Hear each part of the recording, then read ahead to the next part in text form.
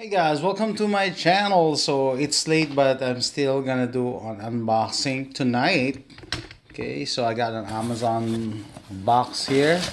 So this is an addition to my knife collection. So for those of you who don't know me or have not subscribed to my channel, I have a gun collection, toy collection, uh, camera, old camera collection, and uh, knife collection. So, but the theme is budget. Okay, mostly budget. So this knife, Eafengrow from Amazon It's a budget knife because I think I got this for less than 25 bucks. But it has good reviews and I like the specs.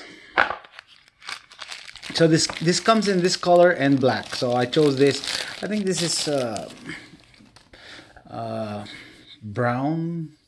I, am trying to say ostrich brown or coyote brown, but it's brown. Okay, it's either brown or black. So I chose this. So I like how it looks, you know, the color wise and the profile of the knife. So I'm looking for a, an EDC knife. EDC knife.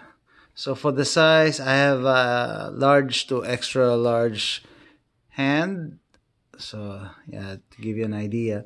So close it's 4.5 inches.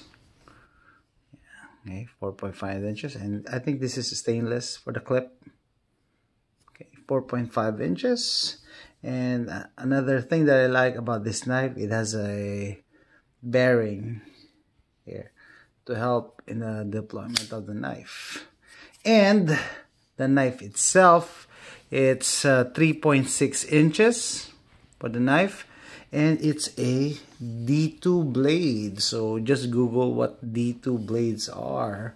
I think uh, from the specs it has an it has a hardness of 50 to 60 HRC. I don't know what that means, but it's in the specs D2. Okay, that's the hardness of the blade. And you can see the the the material itself Okay. So it has a D2 blade and a G10 handle. So what are G10 handles?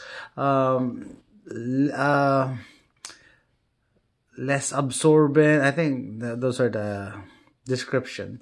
Less absorbent, uh, not easily, it's corrosion resistant. Uh, what else? So many characteristics. But I like it, you know. The grip and the the looks of it. So when deployed or open it's 8.1 inches tip to tip. Tip to tip. Let me try it here. Was try it on a newspaper.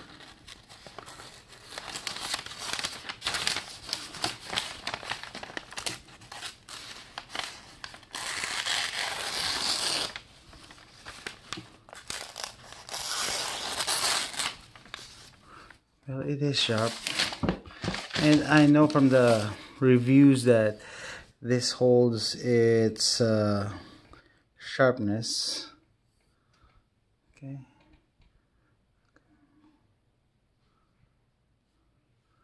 D2 blade. That's the locking mechanism. Okay so perfect for what I'm looking for. Within my budget and just the right size and weight. I forgot the weight but it is just a good weight. For, uh, perfect for EDC or everyday carry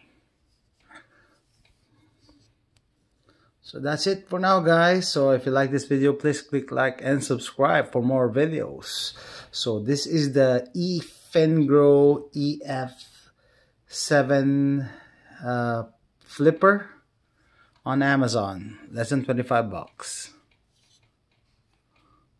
Thanks for watching.